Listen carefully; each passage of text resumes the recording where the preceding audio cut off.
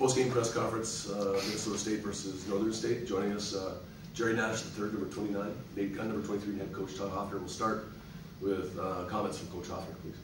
Thank you, PA. Um, great to have a shutout. I'm very proud of our defense and defensive effort. Um, I think it's Coach Glow's first shutout since he's been here, which is outstanding. Every coordinator, obviously, uh, defense wants to pitch a shutout. I thought we did a phenomenal job in the beginning of the game, going three for four uh, in the first half, only receiving four drives, but taking three of them uh, to pay dirt, getting a couple of two-point conversions, which is good. We failed on one of them. Uh, going into half with a 22 to nothing lead uh, was important, and I thought the second half, and Coach Pashawner and the offensive group taking the ball down and uh, um, taking it to the end zone uh, in the first drive was really important to trying to put another nail in the coffin and, and seal the deal. Thanks. Questions?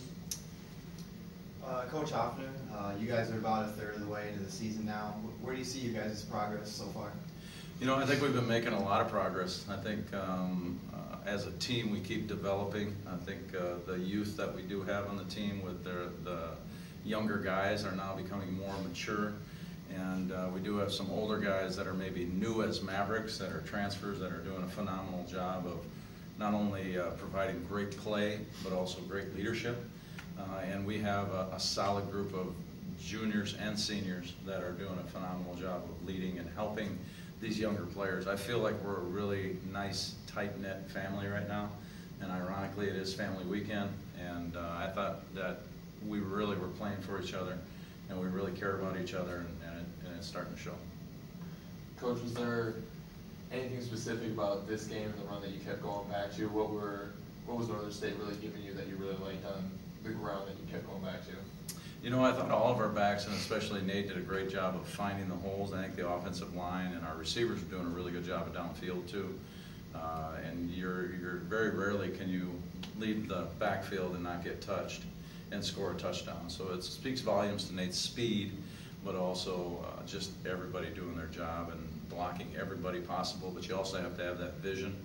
Uh, and I think Nate's doing a fine job of finding the, the holes now to pinpoint exactly where they're at. Uh, it changes from play to play, but I think uh, vision is really important for a back success and finding those holes. And I think Nate's doing a great job.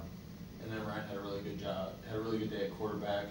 Uh, how have you liked his development over the course of the season thus far? And uh, just how much has he grown just in kind of controlling the offense over these few games?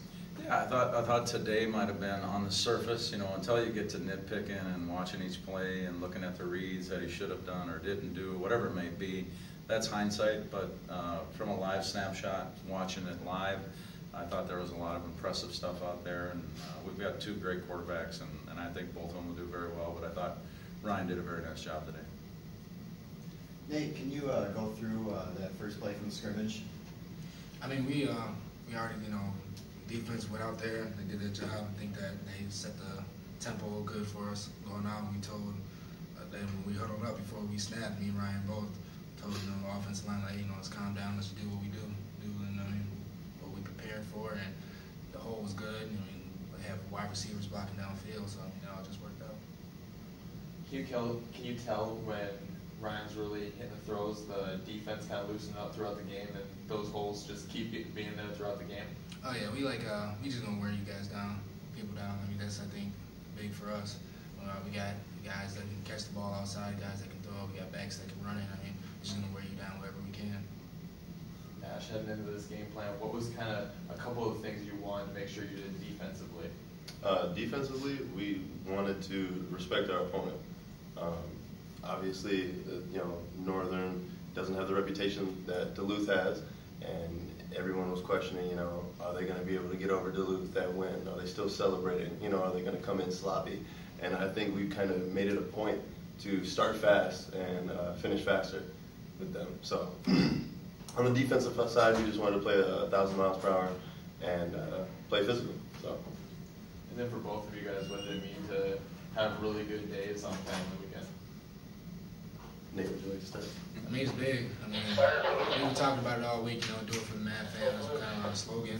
And before we can do it for, you know, our people back at home, we got to do it for the family that's out on the field with us every day. So people that we huddling up with, you know, me and Jerry, with Coach Hoffner. We all you know do it all together.